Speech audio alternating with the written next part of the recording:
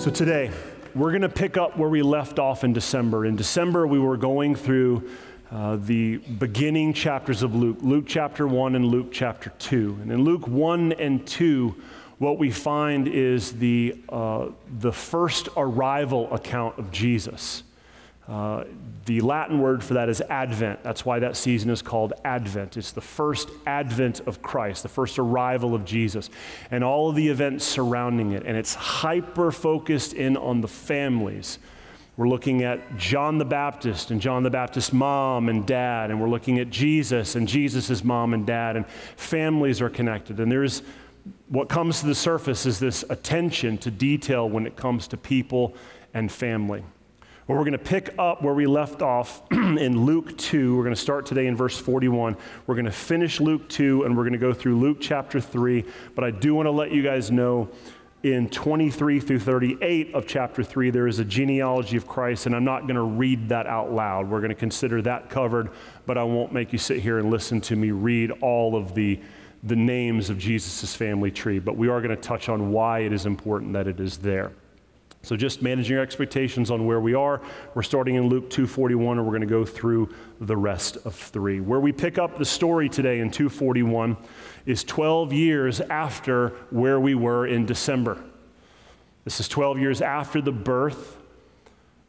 They're about to go, the family is on a trip to Jerusalem and they're about to celebrate Passover. There's a good chance that this is probably Jesus' first time in Jerusalem to celebrate the Passover because he's old enough now.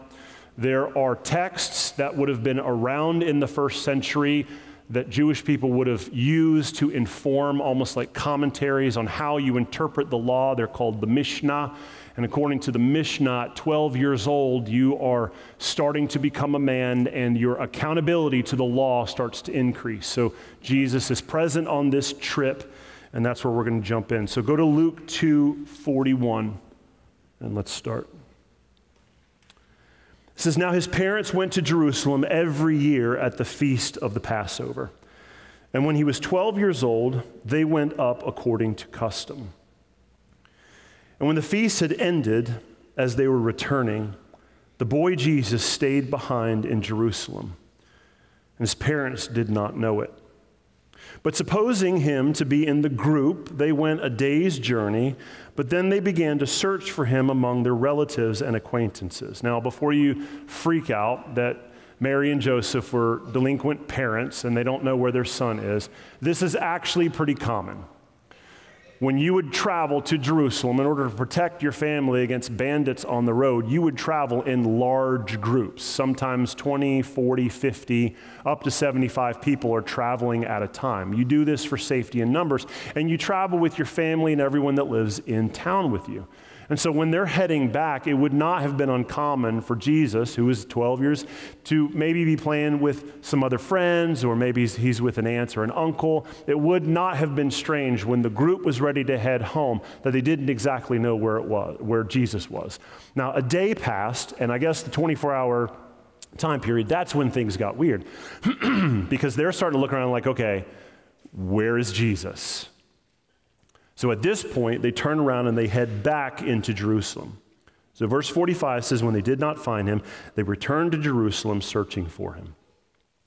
And after three days, they found him in the temple, sitting among the teachers and listening to them and asking them questions. And all who heard him were amazed at his understanding and his answers. And when his parents saw him, they were astonished.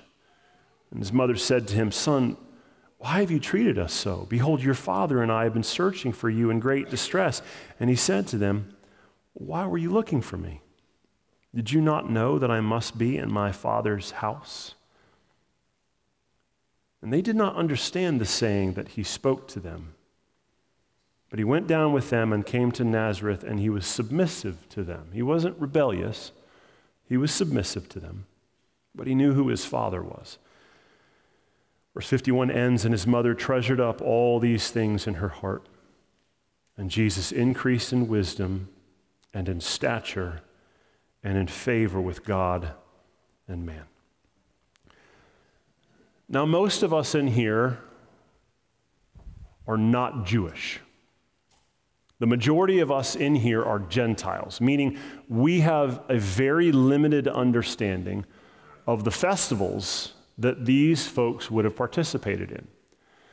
See, no one in this story is Gentile. These are all Jews, and they're all celebrating things that for thousands of years Jews have celebrated, and they're doing it in a very specific way. And when we read this text, we read, okay, they went to Jerusalem, know where that is. They celebrated Passover, kind of familiar with it, and then they went home. And we miss the entire coloring of this story. So, what I want to do today is I want to pull some material from a commentary by a guy named Kent Hughes, his Luke commentary, and I want to color in for you what was happening at this Passover festival. So, Passover, if you remember, is tied to the Exodus story. It's the time of Moses, it's the time of Israel being in bondage in Egypt. They were enslaved by Egypt under forced labor, and they cried out to God to save us. And God sent a man named Moses and his brother Aaron to speak for them, to declare to the Pharaoh, You need to let my people go so they can worship me in the wilderness. And Pharaoh said, No. And then what was released on Egypt was a series of 10 plagues. The final plague was what this festival, Passover, is connected to. The Passover that night, what happened was the people of Israel were told God is going to kill the firstborn of everyone in Egypt. And if you want your firstborn spared, you will kill a lamb. You will smear its blood on the doorpost post of your home. You will cook that lamb. You will consume it, get it on that sacrifice. You will get that sacrifice on the inside of you. You will sit around a table and you will eat with your shoes on, ready to go, because I'm going to deliver you this night. And that night, God killed the firstborn of every, everyone in Egypt, but he spared the children of Israel, and they were set free. Now, this happened at the time of Moses. This is 1,500 years before this period. And what you have during this festival is a family under the command of the law to go to Jerusalem and celebrate this festival again so you won't forget that your God saved your people. And this is what it looked like. The family would gather and they would travel in large groups down to Jerusalem. No matter where you were, you were expected to be there. The law commanded that every male be there. Females were not commanded to be there, but we see that Mary, she came with her family anyway. When you showed up, the husband or the father, he would take the sacrifice, the lamb, and he would bring it down to the temple and he would bring his oldest sons with him because they needed to learn how this went. So Jesus at 12 would have gone down with Joseph to the temple at the beginning of the sacrifice. And what he would have seen when he walked up to the temple was 24 divisions of priests, hundreds of priests lined up ready for the sacrifice. And these priests are there to do two jobs. The first job is to burn all of the leaven that had been collected in the household and around Jerusalem on the eve of this event. Leaven was symbolic of things that got on the inside of the bread and puffed it up and made it larger than it needed to be. And so the command was I want you to get all of the leaven out for this specific festival. I don't want anything that would artificially puff up this festival. And so leaven was collected, and then the priests would burn the leaven. That's the first job. The second job was the priests were responsible for this moment of sacrifice. So here's how it would go all of the fathers would bring the lamb, they'd bring their son with them to watch, and all of the men would line up in rows, and the priests would be ready with basins. And the father would take the lamb, it would slit the lamb's throat, kill the lamb, the blood would spurt out, and the priest would collect the blood in the basin. This blood was for the forgiveness of sin. And once the blood was collected, the priests would bring all the basins and they would come over to the altar and they would spread the blood on the altar. At that point, the father would then field dress the, the lamb, uh, collect all the insides out, every, make it all ready for the meal, and then bring it home. And the family would gather together, and on a pomegranate spit, they would roast the lamb. Everyone was commanded to pack all of their stuff, be ready to leave that night. Put your shoes on, put your outfits on. No one's in pajamas. pajamas. Everybody's in ready to go clothes, and we're going to sit around the table and we're going to eat this meal and we're going to sing songs. The songs that they would sing came from Psalm 113 through 118, called the Hallel Psalms. They sat around, they ate, they celebrated, and they sang. And at the end of that event, after all of the singing, the oldest son would stand up and ask his father this question Father, why is this night different than all other nights? And the father would then begin to tell the story of Exodus to the family, and everyone would lean in and listen with anticipation as the father recounted every detail.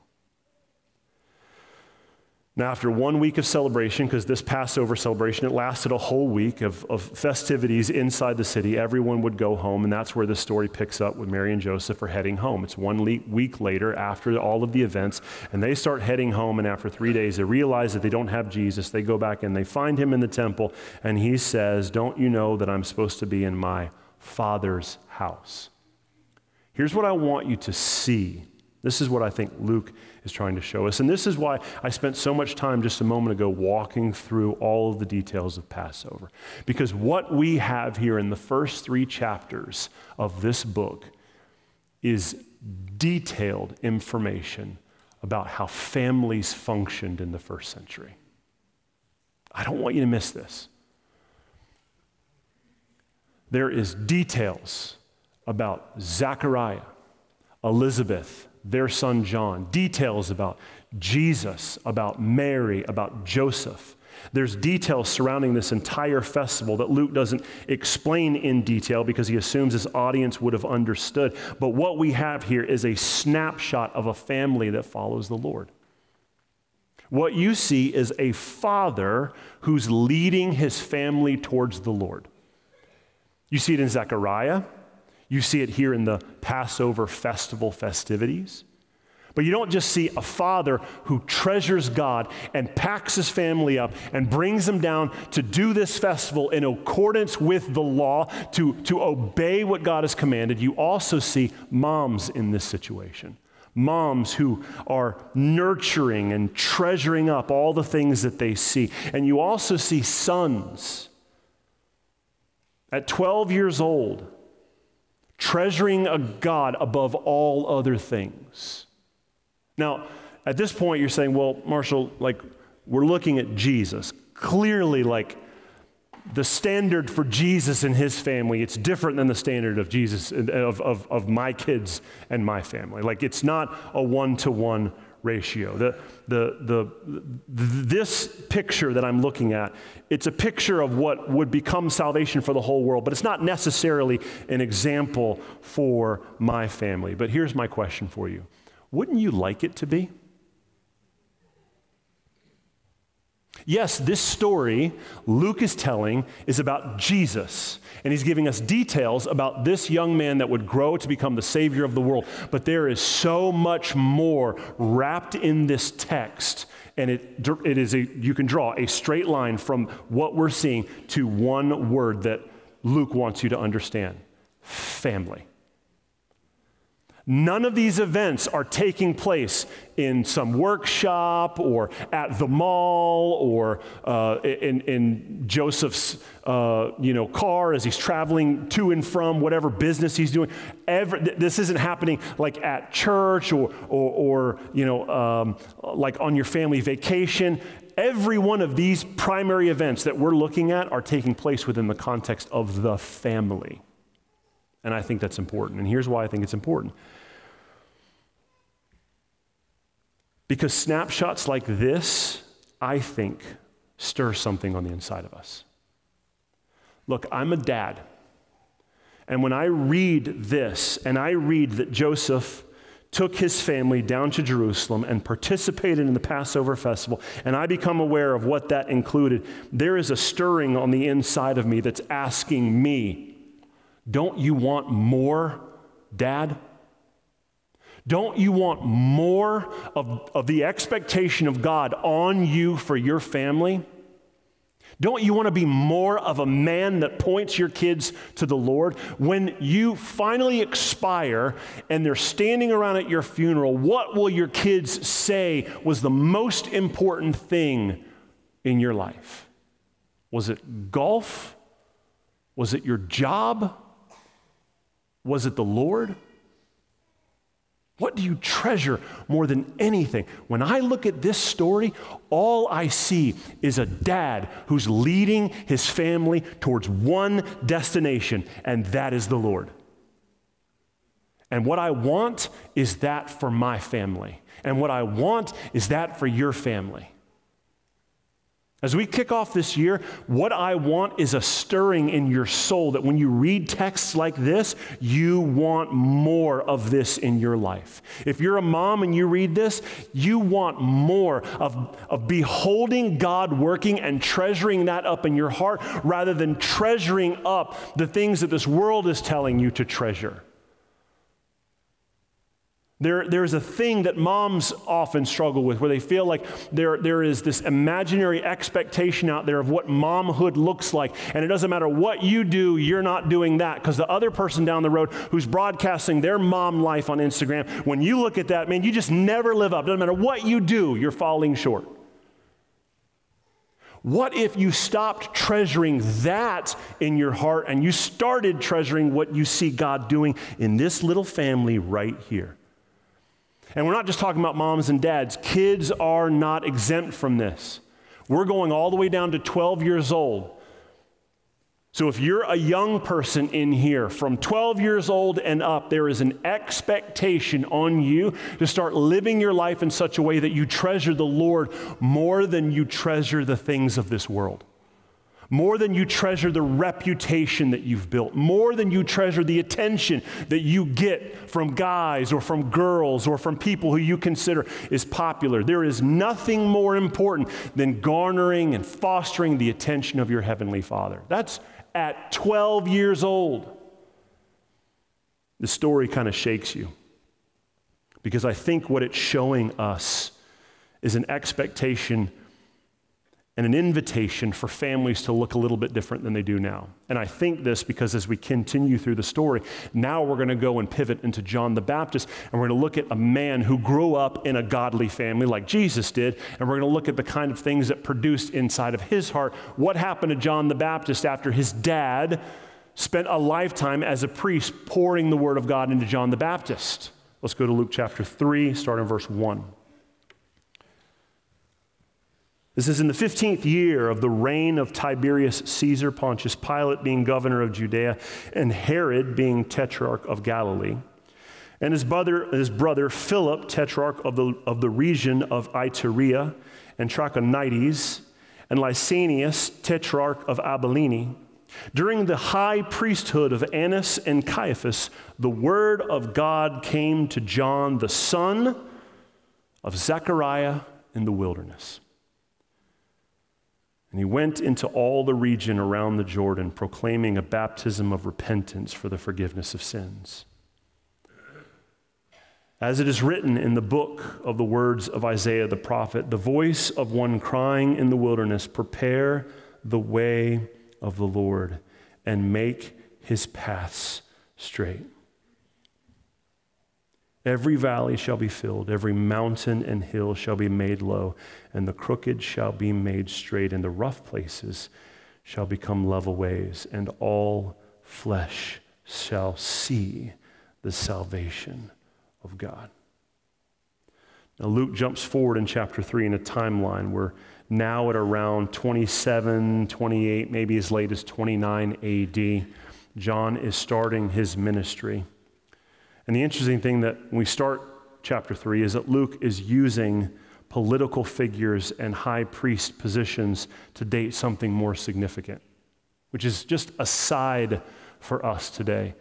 We are convinced that the most significant things that are happening in our world are happening at the highest levels of leadership. And God says, no, those are just mile markers to mark the other more significant things that are happening on more local and family levels. So don't look at the news and be convinced that some man you've never met is changing your life. God says that person's tenure in office is nothing more than a mile marker for when I did this significant thing inside of you.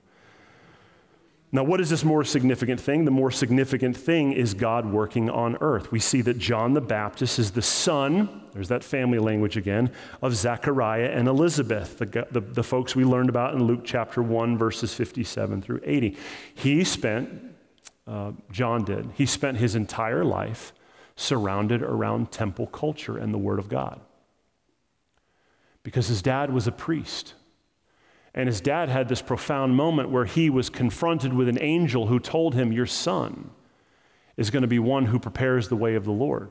And so John spent the rest of his life preparing, excuse me, Zechariah spent the rest of his life preparing his son John to, to fulfill this ministry. Every day, Zechariah is a faithful father who's pouring the word of God into his children.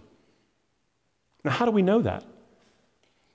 Because when John starts his ministry, it starts when he hears the word of the Lord. And what is the first thing that comes out of John's mouth? What is his ministry known by? It's the word of God, it's the prophet Isaiah. I want you for a moment to consider what does it look like if you were to start rearranging things in your home so that the word of God is the center and not an overly stressed calendar? What if everything in your home, as a dad and as a mom, in some way pointed your children back to the goodness of God? And every day you're looking for ways to talk about the goodness of God, to talk about His ways and His faithfulness and His covenants. What would it be like if your kid at 18 or 19 or 20, when they finally move out, if they had spent 20 solid years of hearing all day long things that point them back to the story, the only real story that makes any sense and is of most importance? Think about this for a moment.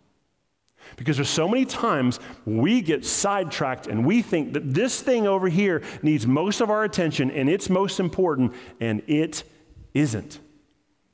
What we're looking at here is a, uh, an, an, example, a, a portrait being painted of what godly families look like. What is Luke showing us here? Luke is showing us that family is the fertile soil where we first learn to grow.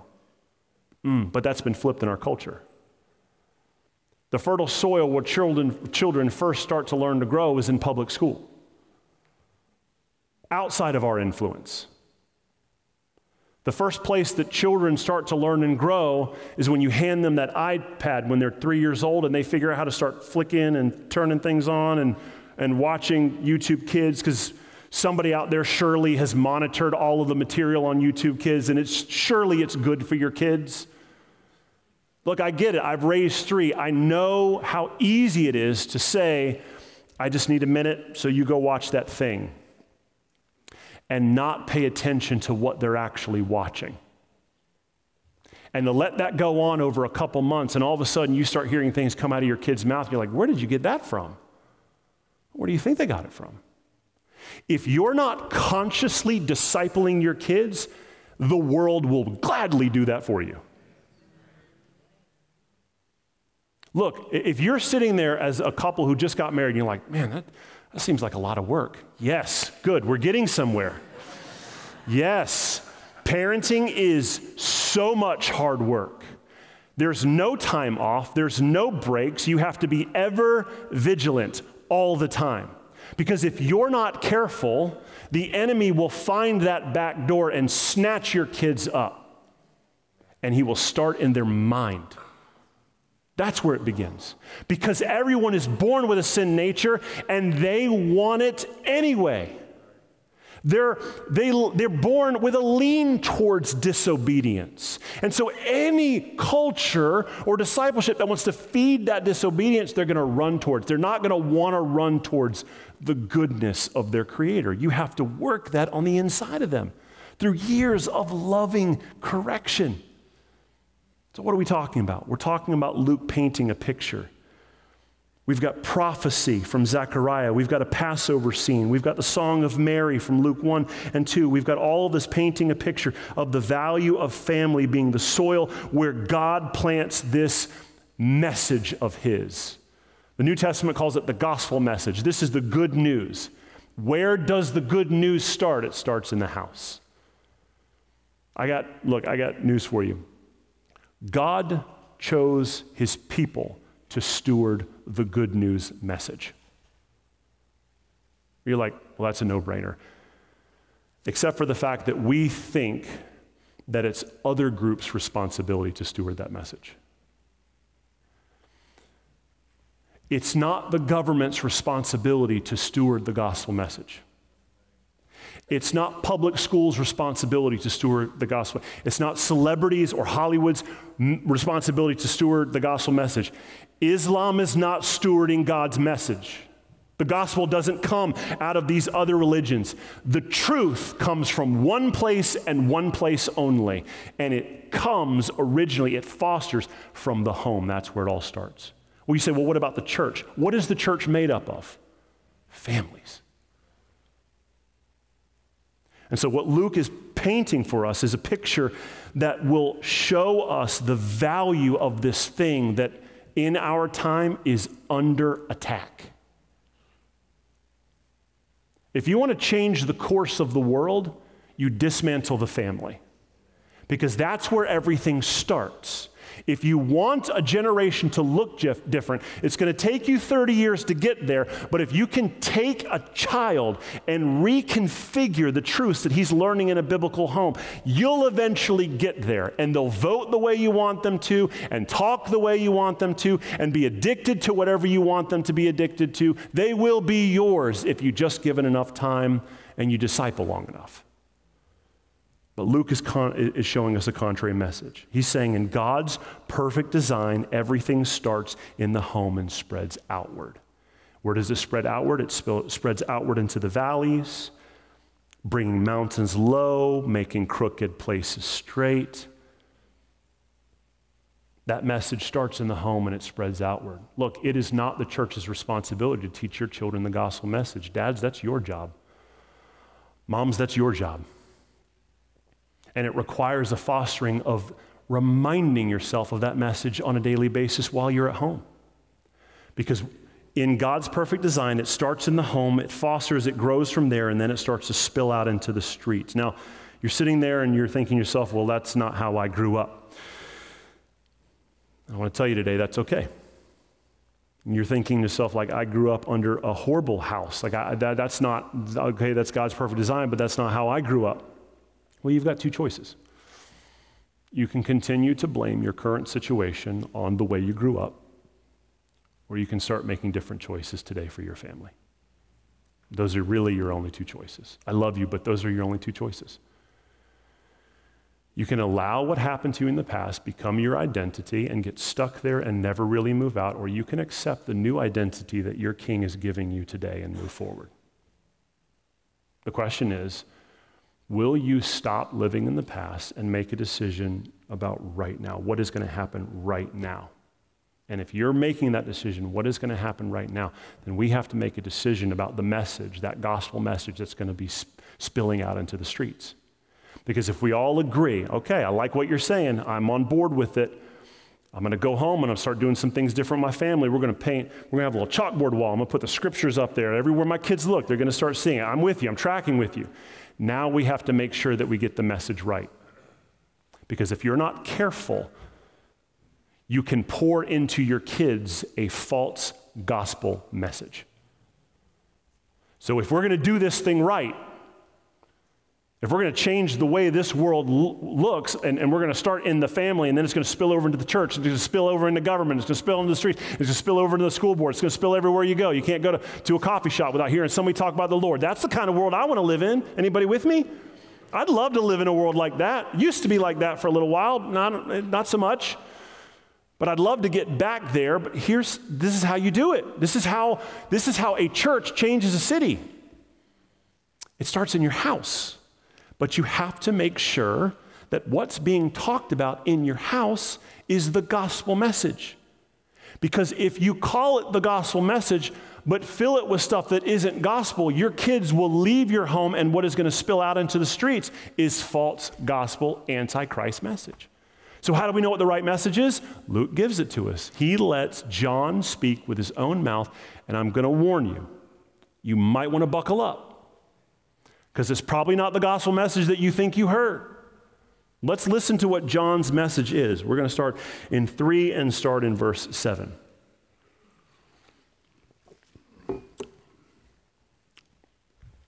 He said, therefore, to the crowds that came out to be baptized by him, You brood of vipers,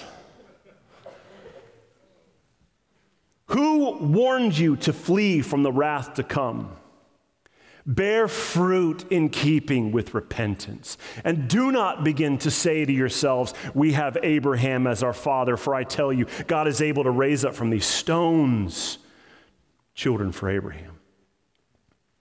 Even now, the axe is laid to the root of the trees. Every tree, therefore, that does not bear good fruit is cut down and thrown into the fire. And the crowd said, Well, what are we going to do? What shall we do? And he answers them, Well, whoever has two tunics is to share with him who has none. And whoever has food is to do likewise. And then tax collectors came to him and said, Well, teacher, what do we do? And he said, Collect no more than you are authorized to do. And then soldiers came to him and said, What are we supposed to do with this message that you're preaching? And he said to them, Do not extort money from anyone by threats or by false accusation, and be content with your wages. And as the people were in expectation, all were questioning in their hearts concerning John whether he might be the Christ. And John answered all of them, saying, Guys, listen, I baptize you with water, but he who is mightier than I is coming the strap of whose sandals I am not worthy to untie, and he is going to baptize you with the Holy Spirit and fire.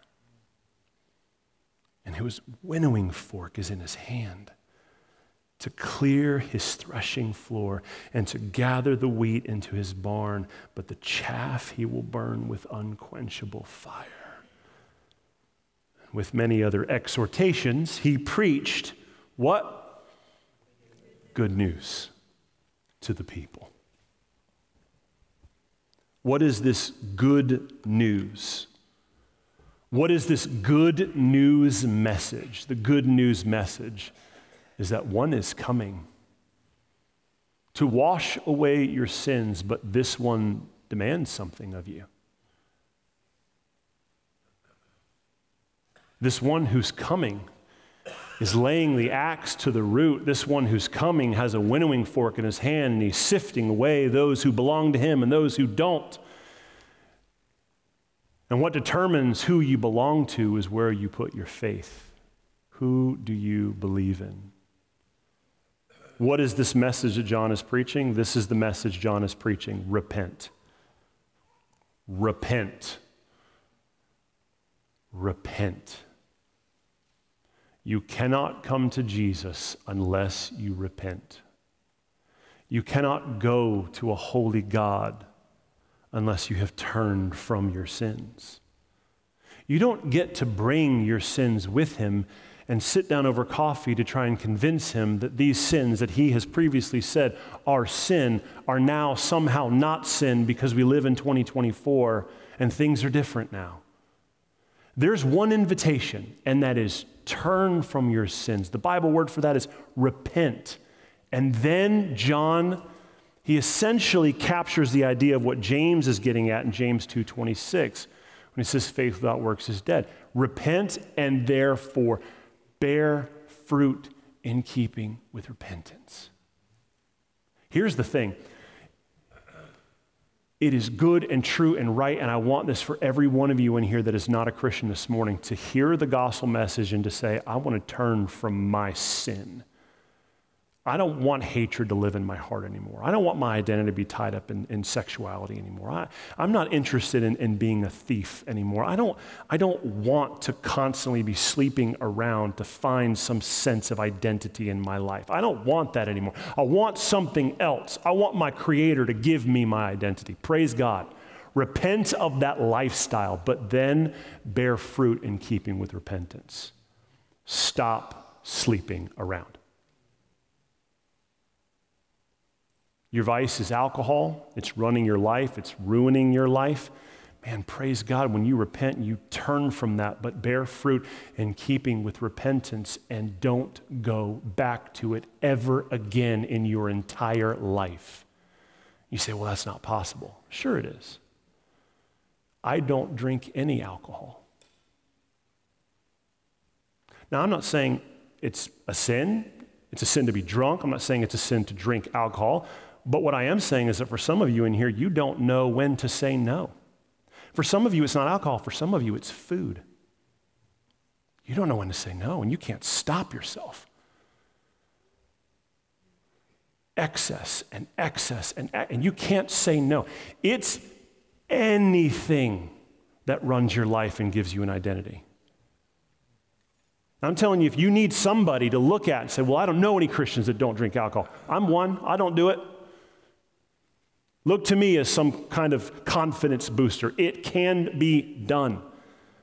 But when it comes to excess and treating the God, the good God given things of this world as idols, you have to repent from that and then bear fruit in keeping with repentance and not go back to it.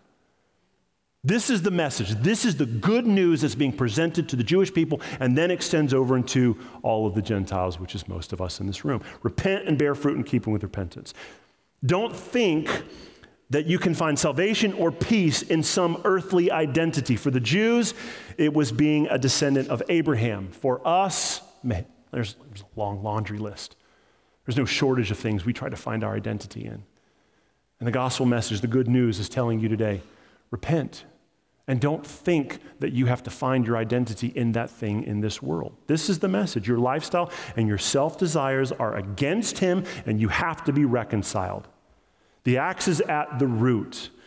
There's only reward and punishment coming, and today might just be your day to turn from punishment into reward. And people receiving this message and they're saying, Well, what do I do with it? And John responds with everyday practical things. What do you do with this message after you've repented? Then you practically walk it out. Repent and turn to God, but bear fruit in keeping with the repentance. Stop cheating people. Stop lying to people. Stop taking advantage of people. Stop eating in excess. Stop drinking in excess. Start, stop partying in excess. Stop sleeping around in excess.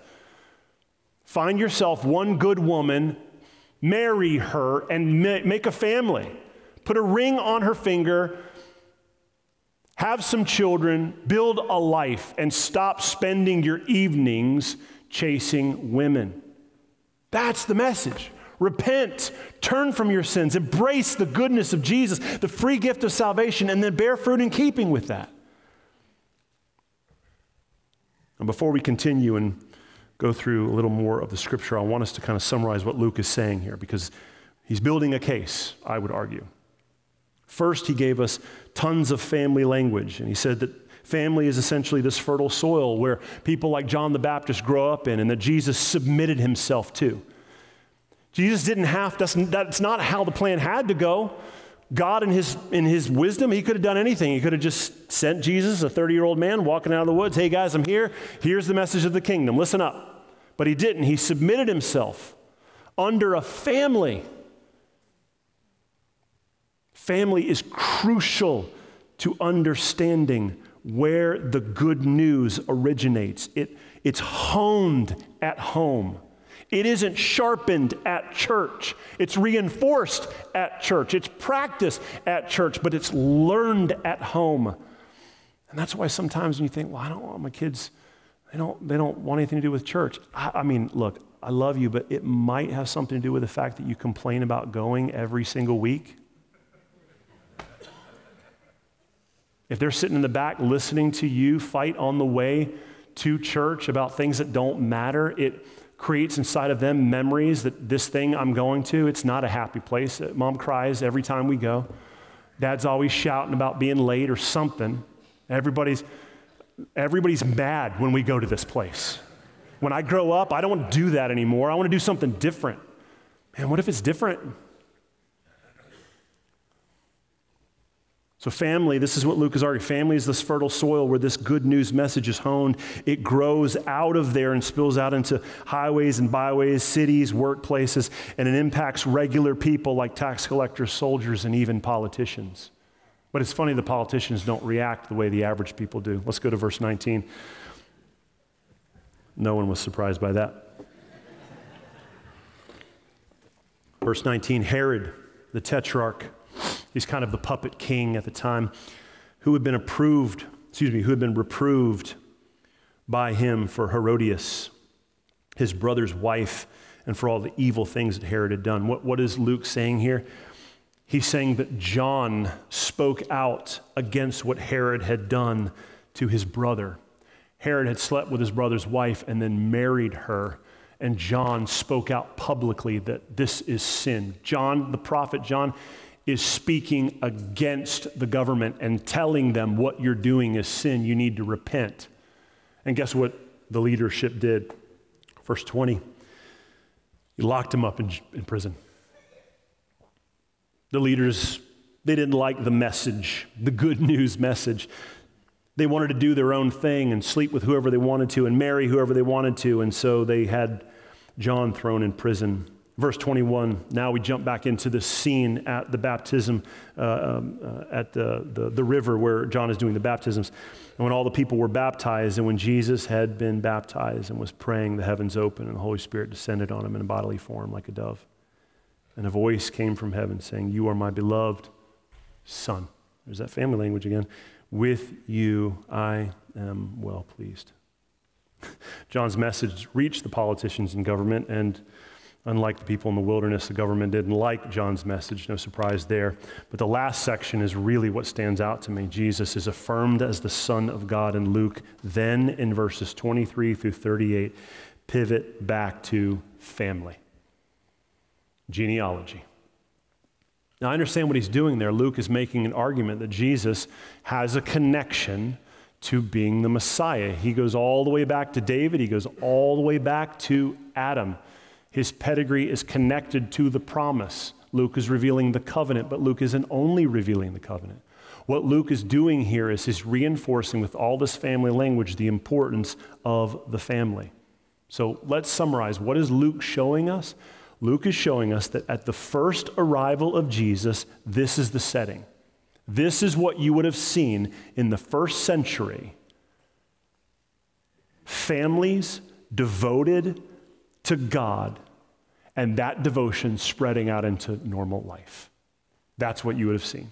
You would have seen this message that started in the family spreading out into normal life being summarized as good news. And the good news is it's glorious to some and it's offensive to others. It impacts tiny little backwater towns and leaders in high positions. Nobody is exempt. So, why is that important for us today? What's the application for us today? Because the picture Luke is showing us the first time Jesus arrived is the expectation that should be going on today on the eve before Jesus arrives the second time. If he's coming back again, what is the setting what is the church supposed to look like? This is what the church is supposed to look like. Families devoted to Jesus, allowing their devotion to spill over into normal life. That's what we're talking about. We're talking about making a decision this year to take God more seriously, not in your own life, but in your family. Look, I get it. As a dad, there is an uneasiness to start talking about things you haven't talked about before. If you historically have not been a guy who makes much of Jesus, but now he's working on the inside of you and he's convicting you right now, he's telling you, you need to fix that. It's going to be weird when you walk home this afternoon, or walk home, when you drive home, when you get home this afternoon, you sit around for lunch and you're like, hey guys, so uh, how about we start reading the book of John together? Your kids are going to look like you like you're nuts. Your wife is going to be like, Who is this person? Uh, look, I get it. Same for moms. If you historically have been more interested in the way you look, and spend more time at the store shopping or putting yourself together and less time in this word, if you're not interested in the way, in, as Paul would say, adorning yourself with godliness, but constantly adorning yourself with the things of this world, it's going to be weird for your husband to see you start becoming a godly woman. But here's my encouragement to you get over it.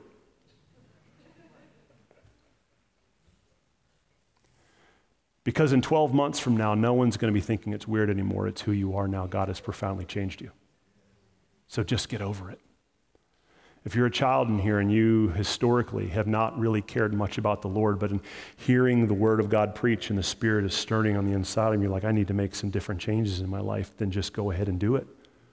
Let this beautiful but offensive message start stirring on the inside of you and let it spill out of you into your family and then into your church. Start serving in your church. Start talking about it when you're at school. Now, people aren't going to like it. When you go to school and you start asking your, your teachers to your questions and they start talking about, well, we're going to have this class on this ideology and this belief system, and you start asking questions to poke holes in it, they're not going to like that. Get over it. There is an expectation from Scripture for the family to be the core unit that profoundly stewards this word. It's cultivated and added to as families get together in the church, and it spills out into the society. This is what Luke is saying. This is what I'm going to close on. Strong families make strong churches, and strong churches preach bold messages. Why is there so many weak messages in churches across the country? It's because there's weak churches. Well, then why do we have so many weak churches? It's because we have weak families. Why do we have weak families? Because we have weak dads. That's why. You want to fix this? Got to go from the bottom up. The church needs to sound more like John the Baptist preparing the way of the Lord.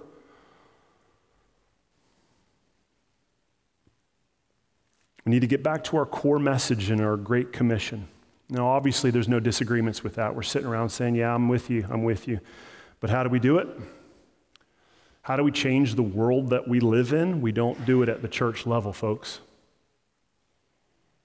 You do it at the family level. You want this world to look different? Your family has to look different first. That's where we start. You want stronger churches? You're tired of looking around in any major city in the country and there's two or three like mega churches that are preaching a false gospel, and there's a couple small, like faithful churches, and there's just a bunch of mediocre churches. And you walk in, it just seems like they're trying to reproduce the same plan that somebody handed them, and you feel like you walked into a McDonald's that you could have seen in Detroit or, or Tallahassee. Doesn't matter where you go in the country, every church has been franchised, and they all look the same, and they're all talking about the same thing. You know why that is? Weak families. You want to see that different? You want, the, you want churches over the next 20 years to look different? Here's how that happens you start in your home. You're like, well, what difference is that going to make? It's going to make more difference than you could possibly imagine. Because everything starts in the home and spills out.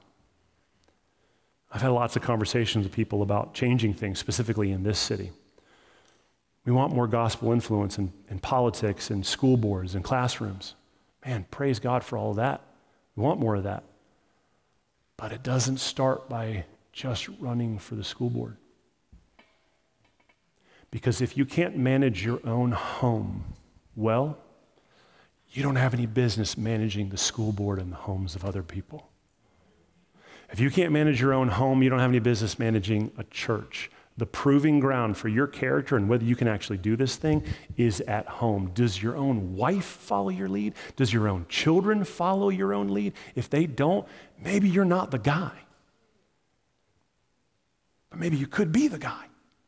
Maybe you could be the gal. Maybe you could be the person that God's called you to be. But here's the core message, and it doesn't feel good, just like John the Baptist saying, Hey, brood of vipers. It doesn't feel good to be called a brood of vipers. But here's the truth you want things to change, you want to say yes to this thing God's told you to do, you need to make sure that the proving ground has been, has been fortified and turned over and is ready so that when you get to that place, your character keeps pace with your gifting. Because you may be unbelievably gifted, you may be charismatic, and when you stand before a crowd, people, everybody listens to what you have to say. But if your character is not at pace with that gifting, you're not going to last more than a year anyway.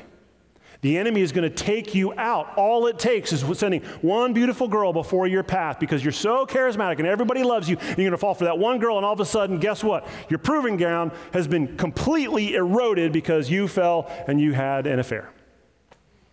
Or you can't control your anger. That's your issue. And so once you get the opportunity to lead, you crush everybody into dust because you don't know how to control your mouth. Where do you learn that? You learn that at home. This is the beautiful message of Luke 3. You want to change the world, you have to start with the family. The gospel message was birthed out of a family, it was reinforced in the family. It's cultivated and built and strengthened in the local church. But if we want our world to look different as we chart our course for this year, you cannot avoid the elephant in the room, and that is it's time to take inventory of our family. Amen? Let's pray.